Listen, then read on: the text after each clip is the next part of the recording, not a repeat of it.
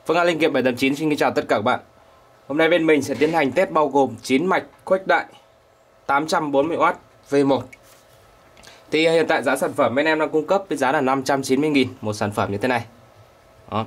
Thì nếu như các bạn có nhu cầu mua sản phẩm này, các bạn vui lòng liên hệ số điện thoại Zalo như trên tiêu đề video. Hoặc các bạn có thể truy cập vào Sendor, Shopee, Lazada. Các bạn đặt hàng ở trên đấy và tìm kiếm shop của bên mình có tên là Linh Kiện 789 nhé. Ok thì đối với cái mạch khuếch đại này thì nó sử dụng cái nguồn điện áp vào là từ 24V đến 30V. Tối đa các bạn sử dụng được 30V ờ, nguồn đôi nhé. Và nó cho ra hai kênh. Mỗi một kênh công suất của nó là 420W. Đó.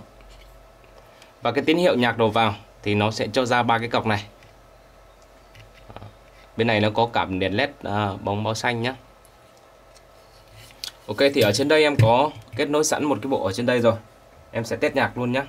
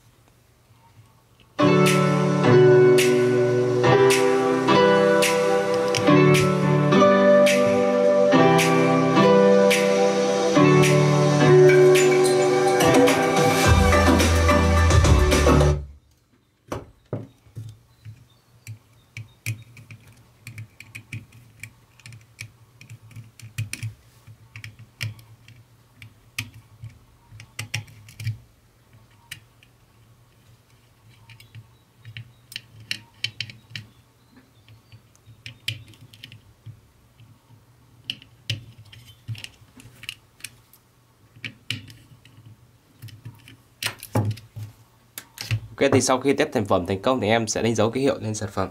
Số ký hiệu hôm nay em sẽ test là từ B31 đến 39 nhé.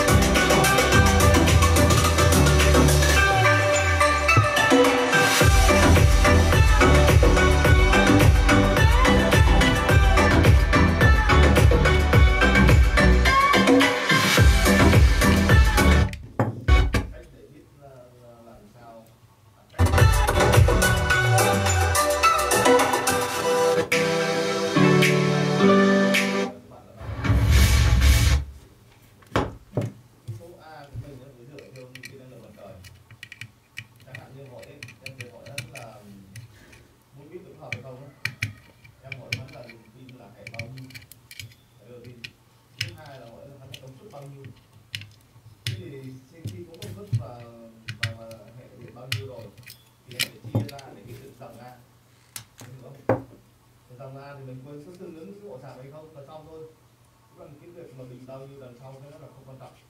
Quan trọng là cái pin mình cái này, cái năng lượng này. Cái đoạn cái năng lượng của anh là cái hệ một nghìn watt hệ một nghìn watt mà hệ 12V thì em cứ lấy một nghìn watt em chia cho 12 volt thì sẽ ra là số A, đúng không? Số A, ví dụ số A mà hợp ở dưới 30 A thì mình để trên 30 A. Hoặc là hệ 24V thì thì lại lấy là một nghìn watt chia cho 24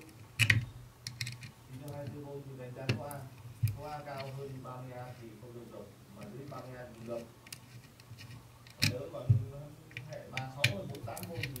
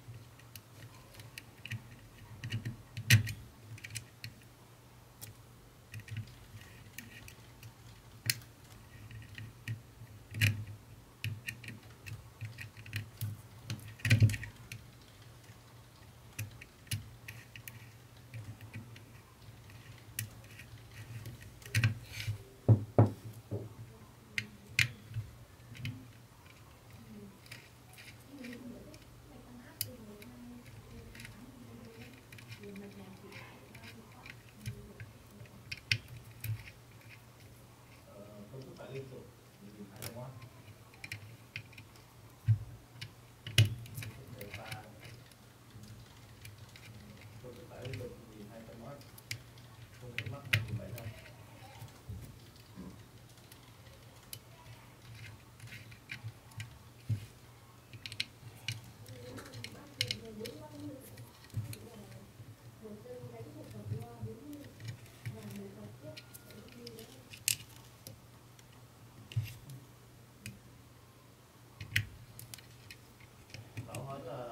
anh là anh có bốn thùng loa